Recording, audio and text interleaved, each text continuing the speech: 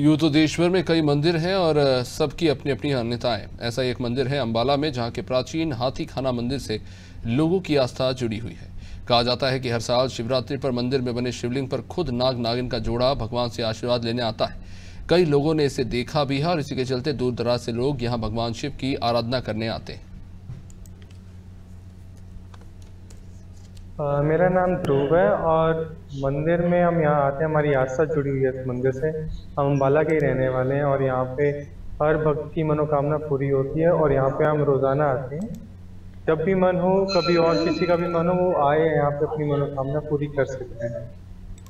और कई सालों से ही आ रहे हैं। सेवा में लगे हुए हैं।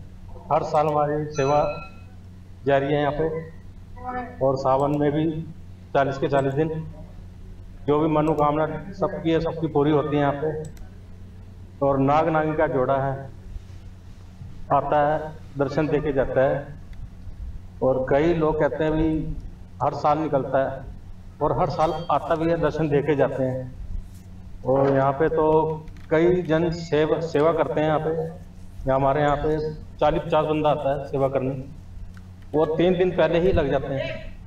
ये मंदिर अठारह सौ चौवालीस का है और बड़ी दूर दूर से भगत जन आते हैं और यहाँ पे तैयारियाँ हो रही हैं सजावट का की जा रही है और सब भगत जो है शिवरात्रि वाले दिन यहाँ आते हैं और श्रद्धा और श्रद्धालु जो है श्रद्धा जय श्री क्या कुछ मान्यता है इस मान्यता ये है कि जो भी श्रद्धालु आते हैं उनकी कामना पूर्ण होती है।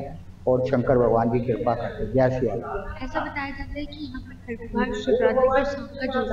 और उन जो शंकर जी का जो है सांप का जोड़ा जो है शिवरात्रि वाले दिन जो है अपना आगे और सूर्य से निकल जाए है। जय श्री